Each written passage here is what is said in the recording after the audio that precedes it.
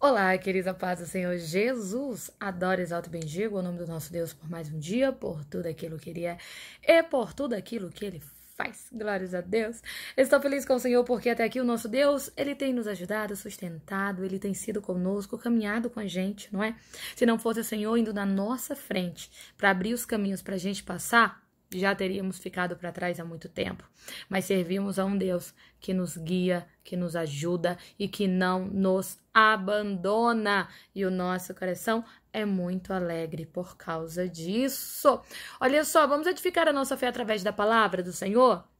Veio para ouvir a voz de Deus, veio para receber dos céus, então já chega declarando, fala, porque teu servo ouve, fala, porque tua serva ouve, Senhor. E é Deus quem vai falar com você nessa hora, tá bom? Tem gente aqui que dobrou o joelho e disse: Deus, eu preciso ouvir tua voz.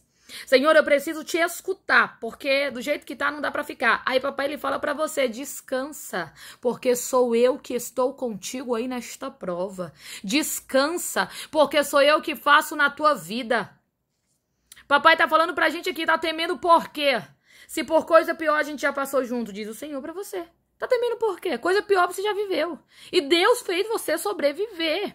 Papai tá falando para você nesta hora. Não te preocupa com isso não, sabe por quê? Porque vai ser mais um testemunho de superação na tua vida. Se você crê tomar posse, recebe, declara aí nos comentários com o teu amém. Olha só o que diz a palavra de Deus, ali no segundo livro de Reis, capítulo 4, versículo de número 6. Eu quero que você entenda que tudo que Deus faz é do muito para o cheio e transbordante. Eu creio que é esse tipo de bênção que você vai receber. Eu creio que é esse tipo de milagre que você vai viver. Cheio, muito cheio e transbordante. Vai ser assim. Toma posse. Olha o que diz a palavra do Senhor. Quando todas estavam cheias, ela disse a um dos filhos: Traga-me mais uma vasilha. Mas ele respondeu: Não há mais vasilha nenhuma e o azeite parou. Eu quero que você entenda que aqui está nos falando a respeito de uma mulher que estava em dificuldade. Uma mulher que tinha uma dívida para pagar e não tinha como. E a palavra do Senhor vai nos dizer que ela vai tomar conselho, direcionamento com o profeta. E o profeta vai abrir a boca e vai falar assim: faz uma coisa, pega vasos vazios, mas não poucos. Sabe o que, que ele estava dizendo? Ele estava dizendo assim: não se prepara para coisa pouca, não, porque não é o que vai acontecer. Olha aqui, se aquela mulher tivesse saído de lá e ela tivesse colocado na sua mente, não, o que vai acontecer é coisa pouca, então eu não vou precisar de tanto de vaso que ele disse que eu precisaria, vou pegar metade, vou pegar um terço, vou, vou, vou pegar pouco. Se ela tivesse feito isso, olha só, ela talvez não tivesse findado a sua história como ela findou, você tá entendendo? Talvez o, o, o, que, o que tinha acontecido na vida dela não, te, não teria a proporção que teve. Pois é, sabe por quê? Porque o que Deus queria operar na vida dela não era coisa pequena, era coisa grande. Então, deixa eu falar algo de Deus para você e toma posse aí do outro lado. Não se prepara para coisa pouca.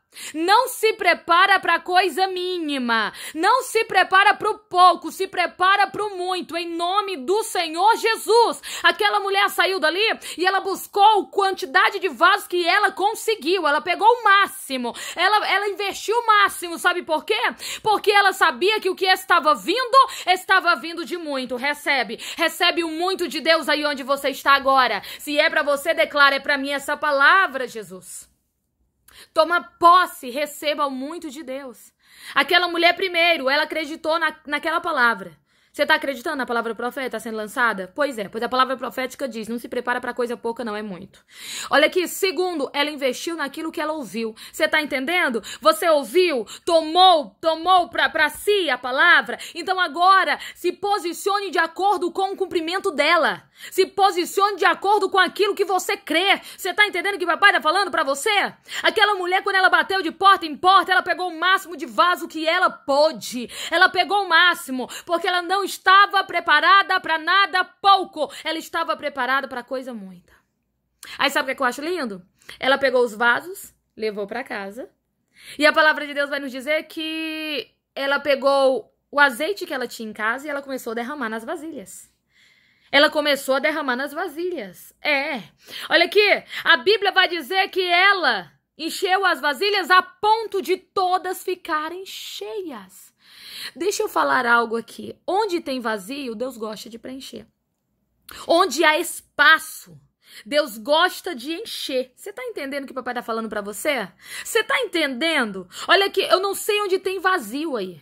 Eu não sei onde tem espaços aí. Serão preenchidos. E serão preenchidos, sabe com quê? Com bênçãos transbordantes. Será preenchido para a glória de Deus. Talvez você está dizendo assim, missionária, há um vazio tremendo na minha vida sentimental. Há um vazio tremendo na minha vida financeira. Há um vazio tremendo na minha vida profissional. Há um vazio na minha vida ministerial. Há um vazio na minha história. Ei, eu não sei onde está o vazio agora, mas eu quero lançar uma palavra profética. Se você crê, vai tomando posse do outro lado. Vai ser preenchido. Vai ser preenchido. Vai ser preenchido pelo milagre de Deus, em nome de Jesus. Se você crê, toma posse. Declara aí: Eu creio nesta palavra. Aravanamana blassurene canta. Papai tá dizendo, vou preencher o vazio. Tá preocupado com quê? Não vai ficar assim, não.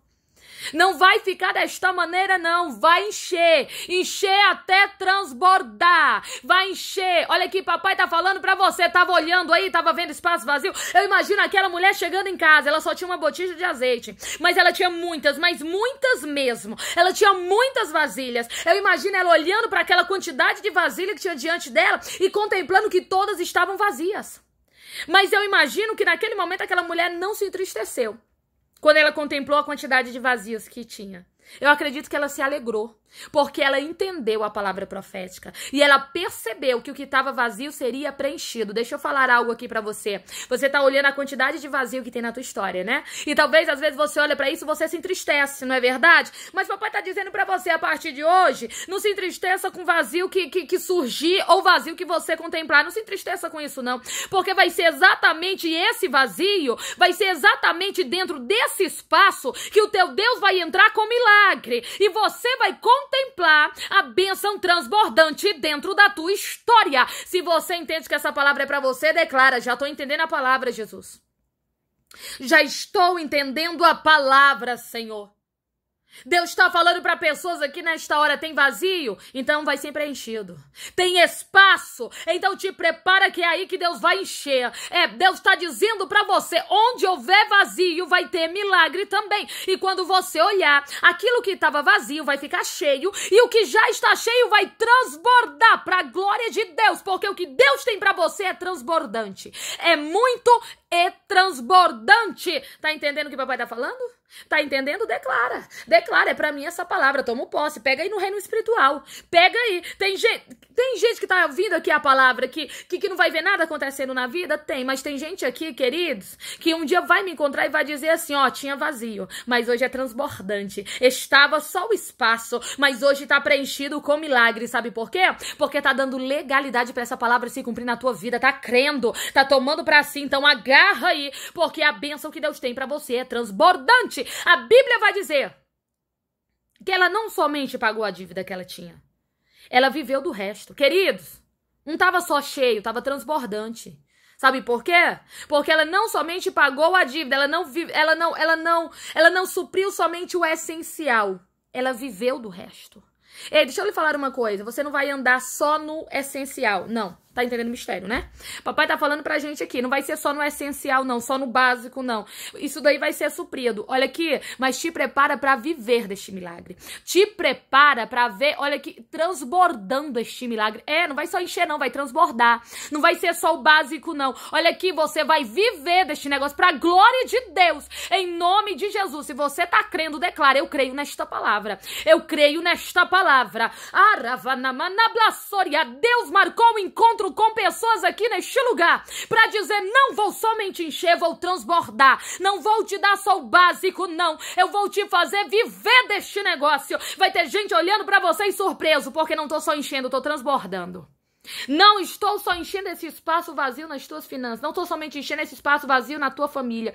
Não estou somente enchendo esse espaço vazio no teu coração. Não estou somente enchendo esse espaço vazio na tua vida. Eu estou transbordando. Estou dando milagre. É bênção transbordante para você. Porque você creu e se posicionou. E Deus vai honrar a tua fé neste lugar. Se você crê, toma posse, recebe e entende que esta palavra é para tua vida. Já confirma aí nos comentários com o teu. Amém. Amém, queridos. Glórias a Deus. Olha só, eu quero orar justamente com você. Coloca teu pedido, tua petição, teu pedido de oração. Coloca aí nos comentários pra gente orar juntos com a certeza de que, ó, não vai só encher, não, vai transbordar, viu? Não, é, não, não vai ser coisa, coisa pouca, não. É muita bênção pra glória de Deus e é pra quem crê. Se quem crê, toma posse, recebe, agarra a bênção, que daqui a pouquinho você vai estar tá dando testemunho. E Queridos, como eu sempre peço, deixa a curtida, compartilha com alguém, tá bom? Tudo que você semeia na vida do outro, financeiro, material, espiritual, emocional, ministerial, tudo que você lança sobre a vida do outro volta com uma força e uma legalidade tremenda para tua vida. Então pega essa palavra e semeia na vida de quantos você puder tá bom? E eu tenho certeza que é você que vai colher as ricas bênçãos e bênçãos transbordantes. Amém? Então, ora daí que eu oro daqui e juntos nós obtemos vitória. Oremos. Senhor, meu Deus meu Pai, estamos aqui na tua presença para te adorar, glorificar, bendizer e enaltecer teu santo nome. Deus, obrigado porque até aqui o Senhor tem sido conosco. Obrigado pelas tuas muitas misericórdias, pelo teu cuidado, pelo teu amor, pelo teu agir. Obrigada, Deus, porque o Senhor nos faz entender que nós temos que nos posicionar de acordo com aquilo que o Senhor tem para nós. Deus, nós temos que nos posicionar de acordo com aquilo que o Senhor nos falou e o Senhor tem coisas grandes, lindas, maravilhosas. Meu Deus, as bênçãos não são sob medida, não, são transbordantes, meu Pai. Meu Deus, eu creio, Senhor, que não vai ser só o básico, o essencial, não, vai ser mais, vai ser mais, meu Senhor. Vai ter gente aqui que vai viver do sobrenatural, vai ser coisa linda o que o Senhor vai fazer.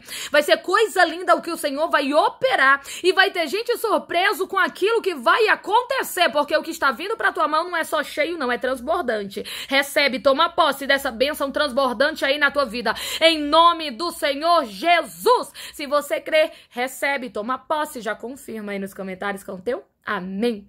Amém, queridos, glórias a Deus. Olha só. Deixa curtida, compartilha com alguém. Se não é inscrito no canal ainda, se inscreva. Se já é inscrito, convida mais um, tá bom? E não deixa de olhar as histórias aqui do YouTube e também de seguir lá no Instagram, Natália Leandro Oficial. Estou te esperando. Beijo grande no coração. Te amo em Cristo Jesus. Fica na paz de Cristo. Amém.